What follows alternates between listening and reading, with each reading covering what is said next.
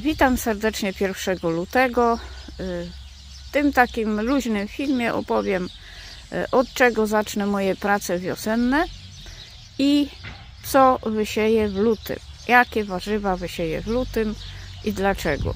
Zacznę od tego, że nasi przodkowie mawiali, że nagromnica zimy połowica. O co chodzi? Chodzi o to, że 2 lutego jest Matki Boskiej Gromnicznej, czyli e, święto ofiarowania pańskiego. Jest to święto, e, które mówi o tym, że właśnie 2 lutego, 40 dni po narodzinach, Matka Boska e, zaniosła Jezusa do świątyni. Tradycyjnie, współcześnie nazywamy to Chrztem Świętym. I w związku z tym że 2 lutego jest połowa zimy, mamy już z górki do wiosny, więc zacznę moje wysiewy 2 lutego. Jest jeszcze takie ciekawe powiedzenie, warto sprawdzić, e, że jeżeli 2 lutego jest e, ciepło i mokro, to Wielkanoc będzie śnieżna i zimna. Warto sprawdzić, ponieważ sprawdziło się powiedzenie na barburki. E, barburka była mroźna i śnieżna, przynajmniej w naszym rejonie, a powiedzenie mówi, że jak barbary po lodzie, to Boże Narodzenie po wodzie. I w naszym rejonie tutaj to powiedzenie się sprawdziło. Także jeżeli będziemy mieli jutro Matki Boskiej Gromnicznej ciepło i mokro, to święta wielkanocne będą zimne i śnieżne, czyli opóźni się wiosna. Wracając do tematu, właśnie dlatego od 2 lutego zacznę moje wysiewy. Co wysieję powiem Wam za chwilę, powiem Wam teraz od czego zacznę moje prace wiosenne, ponieważ, e, że tak powiem w cudzysłowie, e, jesień mnie zaskoczyła. E, byłam już przemęczona fizycznie i psychicznie, ponieważ e, wiem, że kobiety potrafią zrobić to samo co mężczyźni, prawie to samo, nawet jak trzeba, to staną w kopalni i będą ryły węgiel, ale jednak jestem zdania, że kobiety szybciej się męczą. A w zeszłym roku e, musiałam wymienić pokrycie dachowe. To wszystko było na mojej głowie. E, dużo prac fizycznych również była w moich rękach i po prostu miałam już wszystkiego serdecznie dość. Nie robiłam żadnych porządków jesiennych. I teraz, co zrobić e, muszę w lutym? E, muszę i chcę, no bo gdybym nie chciała, to bym nie zrobiła. Na pewno y, trzeba będzie umyć ściany szklarni jakimś zwykłym płynem do naczyń. Spróbuję spryskiwaczem, a jeśli to nie pomoże, to gąbką. Mm, bo jak każda szklarnia, kiedy niezależnie czy z poliwęglanu, czy ze szkła, y, czy foliowa, tunel foliowy, każda szklarnia, kiedy jest e, wilgoć i ciepło, pokrywa się e, zielonym nalotem. Ten zielony nalot to są glony i te glony trzeba po prostu zmyć, ponieważ utrudniają dostęp promieni słonecznych. To jest pierwsza rzecz. Druga rzecz, nie poprzycinałam drzewek i przynajmniej niektóre będę chciała poprzycinać. Trzecia rzecz, pobielić pnie drzew. Bielimy pnie drzew po to, żeby one nie nagrzewały się w ciągu y, ciepłych dni zimowych, bo wtedy poczują fałszywą wiosnę, zaczną szybciej wypuszczać pąki kwiatowe, szybciej owocować, przyjdzie wiosenny mróz i nam to wszystko umrozi.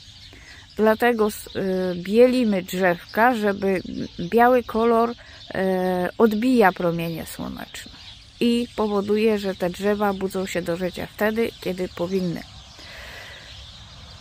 Y, powinnam poprzycinać maliny. Zaczęłam to robić jesienią i niestety nie skończyłam. Tak jak mówię, byłam już przemęczona, powiedziałam dość. No i niestety w tym roku muszę się muszę się zebrać i to wszystko ładnie zrobić. E, w ogrodzie kwiatowym muszę poprzycinać hortensję, ponieważ nie poprzycinałam jeszcze, a luty jest najlepszym miesiącem na e, te czynności, na przycinanie hortensji. No i zrobić jako takie tam porządki. W sumie to tyle z prac w ogrodzie. Pokażę Wam tylko jeszcze mój czosnek niedźwiedzi. E, tamto zielone, tamto, tamto, tamto, o tamto, to jest e, mniszek lekarski, który gdzieś tam mi się zapodział. Natomiast tutaj mam e, czosnek niedźwiedzi i czosnek harnaś. Czosnek harnaś śpi, jeszcze nie obudził się do życia, natomiast czosnek niedźwiedzi wybił jeszcze w zeszłym roku. W tym roku, jak widać, są ponadmarzane listki, ale nic się nie dzieje. On będzie normalnie sobie ładnie rósł. Także jeżeli Wam czosnek wybije jesienią, e, nie musicie się obawiać, że coś złego się z nim stanie. I teraz co wysieję w lutym? Na pewno w lutym wysieję nową roślinę w moim ogrodzie, czyli pepino. Tyle się naoglądałam tych filmików yy, i postanowiłam e, spróbować e, sił e, u siebie.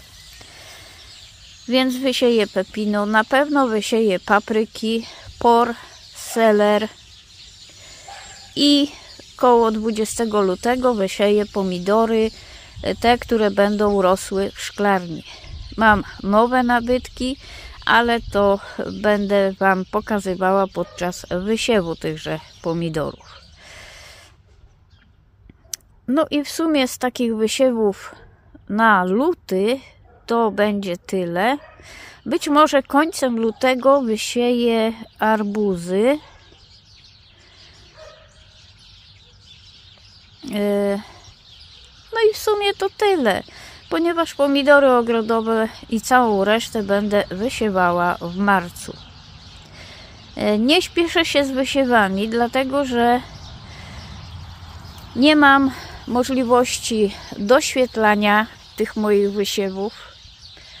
E, dopóki są małe, dopóki kiełkują je w porządku, kiedy zaczniemy pikować i braknie nam miejsca na parapetach, zaczyna się problem rośliny wybiegają, e, są nijakie, nędzne, także nie warto się śpieszyć e, z tymi wysiewami.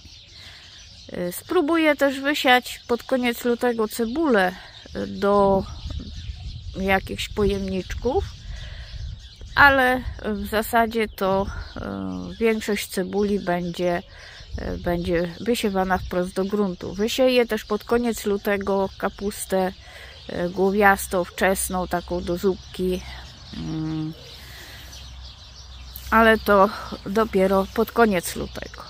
Także mówię, e, na razie to będzie pepino i porceler i papryki wszelkiego rodzaju.